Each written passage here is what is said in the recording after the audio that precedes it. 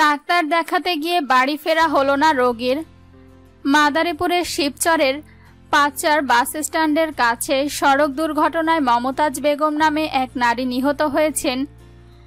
মঙ্গলবার সকাল সাড়ে দশটার দিকে ঢাকা খুলনা মহাসড়কে এই দুর্ঘটনা ঘটে। স্থানীয় সূত্র জানায়, সকালে উপজেলার কাঁঠালবাড়ি ইউনিয়নের মুন্সিরহাট গ্রামের বাদশাহ মাতবরের স্ত্রী মমতাজ বেগম বাড়ি থেকে পাঁচচর রয়্যাল হাসপাতালে ডাক্তার দেখাতে ইজিবাইক যোগে বাড়ি থেকে রওনা হন। ইজিবাইকটি রয়্যাল হাসপাতালের কাছে পৌঁছালে বিপরীত দিক থেকে আসা ফাল্গুনি পরিবহনের একটি বাস ও ইজিবাইকটির মধ্যে মুখোমুখি সংঘর্ষ হয়। এতে ঘটনাস্থলে ইজিবাইকের যাত্রী মমতাজ বেগম নিহত হন। ঘটনা নিশ্চিত করে শিবচর হাইওয়ে থানার ভারপ্রাপ্ত কর্মকর্তা মাসুদ পারভেজ ভুইয়া জানান, ফাল্গুনি পরিবহনের একটি বাস ও ইজিবাইকের মধ্যে সংঘর্ষ হলে ইজিবাইকটি দুমড়ে মুচড়ে যায়। এতে একজন নিহত হন।